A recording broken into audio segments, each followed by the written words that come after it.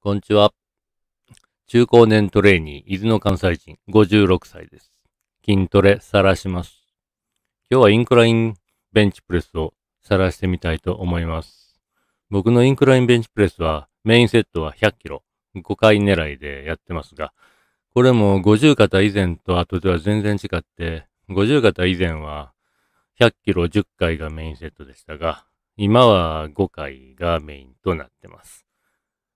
今、ワンセット目、これ3発目で終わっちゃってるんですが、これ右側が当たってしまうんですよ。セーフティーに。ほんで、インクラインベンチにしろ何しろ回数決めてても左右バランスがダメな時はもう中止しないとダメですね。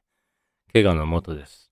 それでなんで右側が当たっちゃうかというと、今左肩が50型であんまり可動域が取れないんで、右が弱いんじゃなくて、左があんまり動いていないから右が下がってるんだと、そういうことでしょう。でも、セーフティに当たると跳ね上がってバーのバランスを失してしまうので、えー、2セット目以降は、なるべく胸の上部につかないレベルで切り返してあげてます。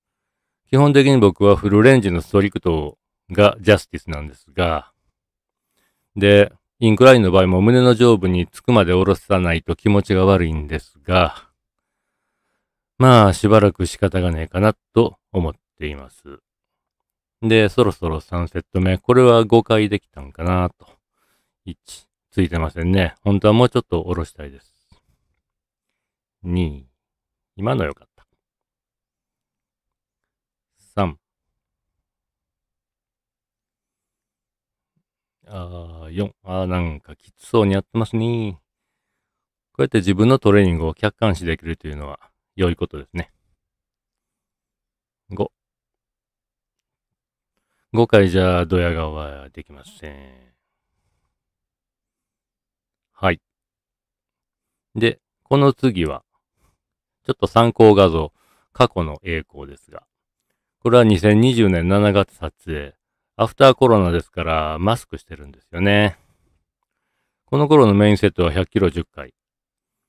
で、それ取ってあったんですが、見返してみたら今と全然違うのでびっくりしてしまいます。始まります。うゆ。結構スムーズな上げ下げで。それで同じように上げ下げしてても、セーフティーにはついていない。セーフティーにつかず、テンポよくちゃんと上下できてるんで、こういうイメージで今も上げたいわけですが、なかなかうまくいきませんね。こうやって自分の過去の動画見て、なかなか上手にやってると思ったら、それを何度も見て、このイメージでやりたいなと思うと良いのではないでしょうか。動画を撮る意味ですね。それで、これは2020年2月撮影の120キロ。うん。50型以前は割と120キロや130キロでもちょっとだけやってたんですよ。で、これは120キロを取ったものですが、過去の栄光、踏ん張るビー。あ、これルーチンですから気にせんといてください。で、120キロ。一発。うん。とにかく胸の上部まで、つくまで下ろしたいというのが、俺のジャスティスってやつで。3。うん、セーフティーにも触れずに下ろせているのは、いいなぁ。もう一度こういう風にできるようになりたいなぁと、今思っています。50型が完全に回復するまでまだ時間がかかりますけどね。そんな感じです。ではまた。